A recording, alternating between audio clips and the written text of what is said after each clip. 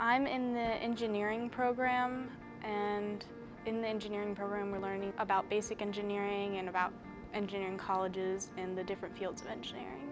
We went on a field trip to NASA and they actually showed us a new satellite that they're working on. It was pretty cool. I mean, I'm very interested into aerospace, so to actually go to NASA was actually a very awesome experience.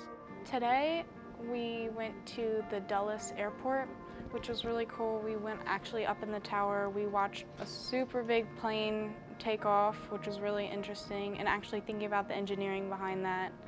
Over the past couple days, my team and I have been building a SeaPerch or a, an underwater robot for a competition to retrieve tennis balls.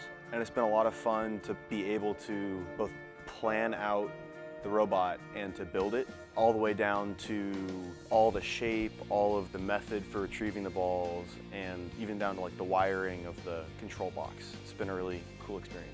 NSLC has been a fantastic opportunity for me to learn about what I care about and to work with people who have the same interests as me to further my own knowledge as well as my leadership skills.